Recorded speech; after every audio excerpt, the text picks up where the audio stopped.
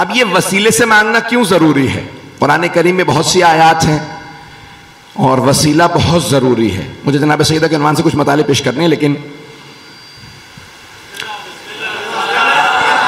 चलेंगे। तो अब यहाँ खातून जन्नत से मुतालिक दो जुमले सुन लीजिए, इससे पहले कि मैं बात को आगे बढ़ाऊँ, ये यहाँ जनाब सैदा ने एक तरतीब बताई है कि इंसान किस अंदाज से मांगे। वसीला ये अहल बैत बताएँगे। किसको वसीला करार दिया जाए? किसके वसीले से मांगा जाए? गलत वसीला दे दो।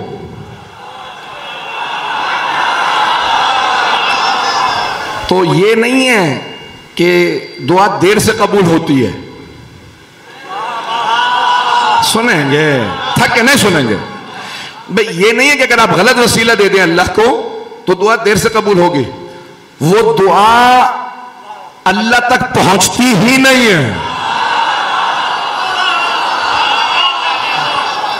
आप कहेंगे, अल्लाह तक नहीं पहुँचती, कितनी बड़ी बात कह दी। दुआ कुमैल पढ़ते हैं। वहाँ मौला के जुमले हैं कि बहुत सी दुआएँ हिजाब में रहती हैं। अभी आप लोगों से बेहतर कौन समझेगा हिजाब को?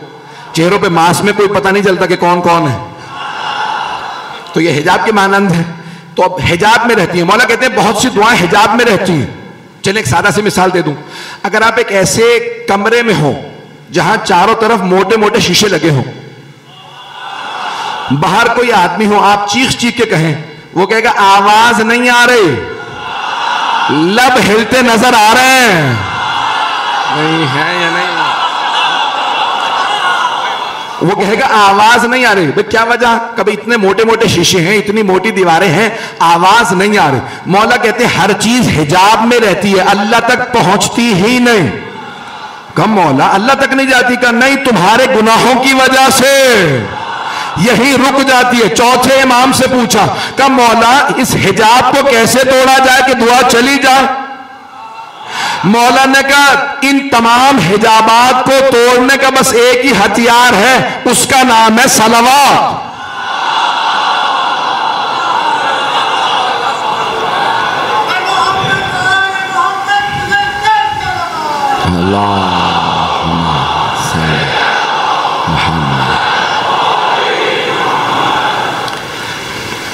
अचानक दो मिसर जहन में आ गए।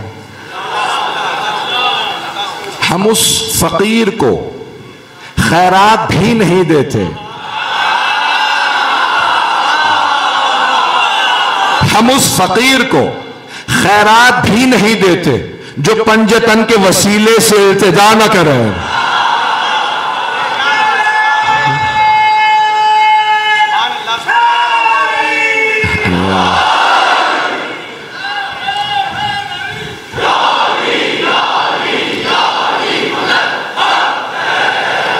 भाई, बहुत प्यारे अंदाज से सुन रहे ऐसे सुनते रहिएगा।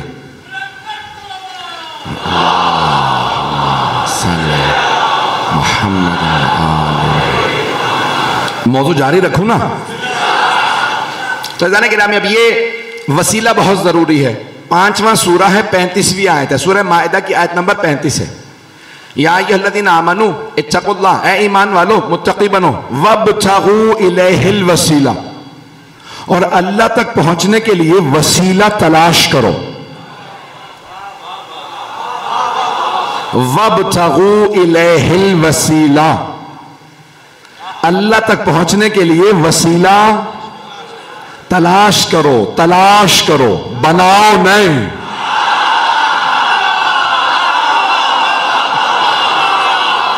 पहुँच रहे हैं या? भाई, अल्लाह सुबहान तआला कह रहे वसीला मैं बनाऊँगा। तुम सिर्फ़ तलाश करो। नहीं, आधा मजमा पहुँचा, आधा नहीं पहुँचा। अब मेरी आदत है, मैं आगे नहीं बढ़ता जब तक सारा मजमा साथ ना हो। एक और सुन लीजिए, कुरान की आयत है कि अगर आप मेरे हबीब, अगर आप इन बुत परस्तों से पूछें कि ये बुत क्या है तो ये कहेंगे, ये खुदा नहीं है।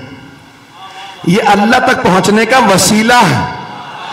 हा इल्लाह ये बुत अल्लाह तक पहुँचने का वसीला है शफी है हमारी अल्लाह की बारगाह में शफात करते हैं ये खुदा नहीं है तो एक बात वाजे हो गई चाहे मोमिन हो मुवाहिद हो मुशरक हो काफिर हो सब वसीले को मानते हैं बस एक फ़र्क है कुछ खुद साख्ता वसीलों को मानते हैं। कुछ खुदा साख्ता वसीलों को मानते हैं। नहीं पहुँचा सका। भाई, कुछ खुद बना लेते हैं। और अल्लाह से कहते हमने बना लिया, तू मान ले। ये बनाया, वो बनाया वो बनाया। का परवर दिगारा हमने बना लिया, तू मान ले। और कुछ कहते हैं परवर दिगारा जिन्हें तूने बनाया है। तू बता दे ताकि हम उनके पास चले जाएँ। पता नहीं, मैं कितना खोल के पेश करूँ? कितना खोल के पेश करूँ? और सुन लीजिए। तो देखें, वसीला, जनाबे, यहाँ पे अल्लाह कुरान में फरमा रहा वब तगु लहिल वसीला। अल्लाह कह रहा है मोमिनो, मुत्तकी बनो। और अल्लाह तक पहुँचने का वसीला तलाश करो, बनाओ नहीं। अगर आपसे कोई कहे तो फिर क्यों कहते हो कि मोहम्मद मुस्तफ़ा ने अली को मैदान गदीर में बनाया था? तो जवाब में कहेगा, अल्लाह की कसम, हम ये नहीं कहते कि रसूल खुदा ने गदीर में अली को बनाया था। मोहम्मद मुस्तफ़ा की कसम, हम नहीं कहते कि मोहम्मद ने अली को गदीर में बनाया था। अली मुर्तजा की कसम। हम नहीं कहते मोहम्मद ने अली को गदीर में बनाया था, बनाया नहीं था, बताया था।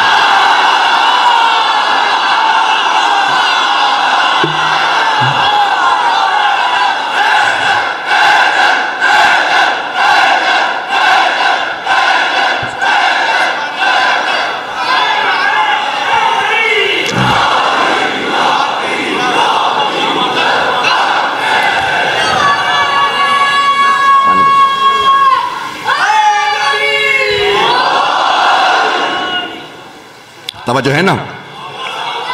तो हमारा ये अकीदा नहीं है कि रसूल खुदा सल्लल्लाहु अलैहि वसल्लम ने जनाब अमीर को गदीर में बनाया था। नहीं। बनाया अल्लाह ने था। बताया रसूल खुदा ने था। एक जुमला कहना चाह रहा हूँ, थोड़ा सा सख्त है, माफ़ कर दीजिएगा। और क्योंकि हालात ऐसे हैं कि कहा गया कि बहुत ज़्यादा एहतियात से पढ़िए। अच्छा मेरी मुसीबत यह है कि मुझे अगर कह दो कि ये पढ़ना, ये ना पढ़ना तो बस।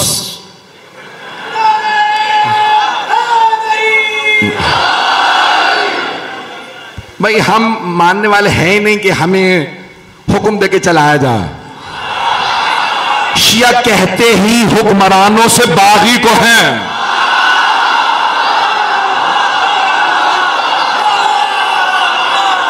हम वफादार हैं आले मोहम्मद के।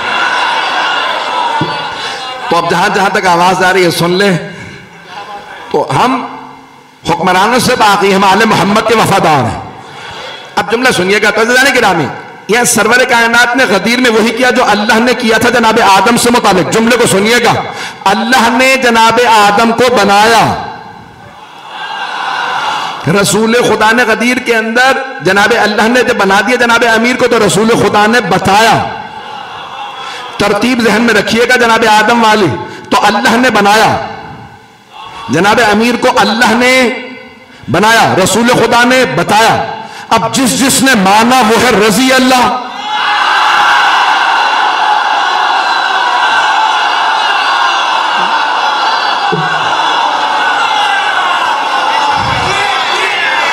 जिस जिसने जिस जिसने जिस जिसने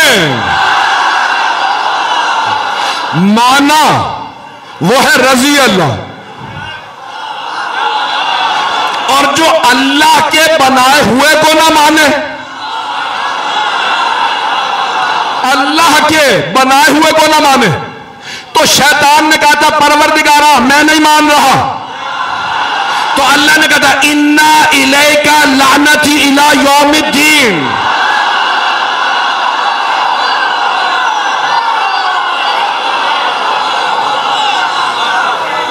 जैसे ही इबलीस ने कहा कि मैं नहीं मानता तेरे बनाए हुए को तो अल्लाह ने कहा, फिर कयामत तक तुझ पे मेरी लानत है। जो अल्लाह के बनाए हुए को ना माने।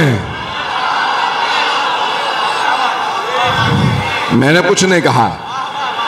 अब जिसका जो जहन हो वो अपने हिसाब से सोच ले। तो अजीजाने के नाम है, अब ये निज़ाम कुदरत है। तो अल्लाह ने कहा, वसीला तलाश करो। वक्त सुन रहे हैं ना? मौजू तो याद है, मुझे याद रहता मैं कहा गया हूँ। वापस आ जाता हूँ। तो या ये है ईमान वालो, तकवा अख्तियार करो और अल्लाह तक पहुँचने का वसीला तलाश करो। तो अल्लाह ने वसीला तलाश करने के लिए कहा, वसीला तलाश कीजिए। ये नहीं कहा कि बनाओ का तलाश करो। तो अल्लाह सुबहान तला ने एक निज़ाम दिया, हमें उस निज़ाम को मानना है, निज़ाम को मानना है। हम निज़ाम के अंदर मुदाखलत नहीं कर सकते। अल्लाह के बनाए हुओं को मानना ही इंसान के लिए अच्छा है, जो अल्लाह के बनाए हुओं को इनकार करे। अब मैं एक मिसाल देना चाहता हूँ, इनकार करने वालों में, उसी मैदान गदीर में एक का नाम था हारिस इब्ने नौमान फेहरी। उसने एक मरतबा रसूल खुदा को देखा, फिर अली मुर्तजा को देखा, फिर हाथों को उठाया। और कुरान ने सूरा नाजिल कर दिया, साला अजाबिन वाक़। मांगने वाले ने अजाब मांग लिया।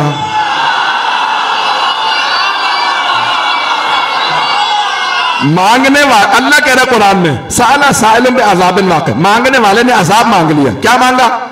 का परवरदिगारा, तेरे हबीब ने कहा, हिजरत करो, हमने हिजरत कर ली। का नमाज़ पढ़ो, हमने नमाज़ पढ़ी। का रोज़े रखो, हमने रोज़े रखे। हज पे जाने के लिए हम हज पे आ गए। जिहाद पे जाने के लिए हम जिहाद पे चले गए।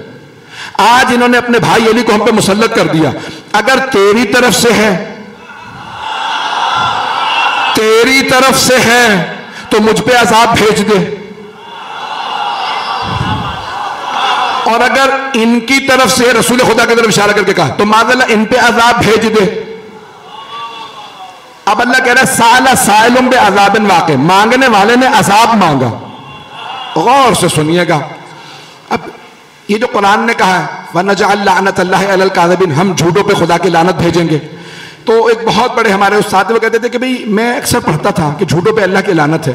तो दुकान पे चले जाओ, काम पे चले जाओ, जहाँ चले जाओ, झूठ तो चल रहा है। तो ये कौन से झूठों पे लानत है? पता नहीं लोग हैं या नहीं। मैं झूठ गुनाह है, झूठ बुरा है, झूठ बीमारी है। लेकिन आया हर झूठे पे लानत है। मैं झूठ बोलने का लाइसेंस नहीं दे रहा हूँ। मलून झूठे बताना चाह रहा हूँ। वो झूठे जिन पे अल्लाह की लानत है, अगर सुनना चाहे। तो वो कहने लगे, मैंने बहुत सोचा ये कौन से झूठे हैं जिन पे अल्लाह की लानत है। तो का मुबाहला से समझ में आया। जो हक के मुकाबले में आ जाए। ऐसे झूठे पे लानत है। मुबाहला से साबित हुआ, जो हक के मुकाबले में आए, हक के मुकाबले में आए, हक के मुकाबले में आए, उस पे लानत है। पैंबर ने कह दिया था, अलियो मल हक, वल हक मा अली अली हक के साथ, हक अली के साथ। अब हारिस इब्ने नमाने फहरी ने कहा, अगर तूने बनाया है तो मुझ पे अजाब भेज दे। और अगर तेरे मोहम्मद ने बनाया तो माजल इन पे। क्योंकि हक के मुकाबले में आ गया था। तो अब तमाम उलमा ने लिखा, एक कंकरी चली।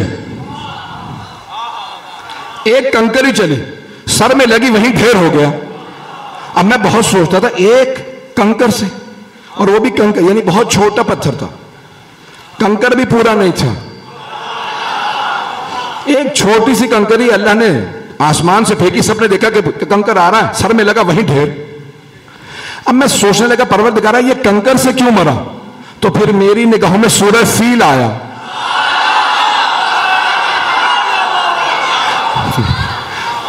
भाई, पता नहीं लोग हैं नहीं। अलम चरक फील। तो सूर फील के अंदर अल्लाह ने यह फरमाया है कि जो काबे के दुश्मन हैं, उन्हें अल्लाह छोटे छोटे परिंदों के चौंचों में कंकरियाँ दे के भेजता है। कंकरियाँ फेंकती हैं वो। अबाबीले हाथी भूसा बन जाते हैं। तो मेरी जहन में जवाब आया, दिल को लगे तो खामोश में रहिएगा। आपको अली की कसम हो। मेरे जहन में जवाब आया कि एक कंकरी हवा में रुक गई थी। अबाबीलों से अल्लाह ने कहा, रुक जाओ, जो काबे का दुश्मन, उसे भी कंकरियों से मारूँगा, और जो मौलूद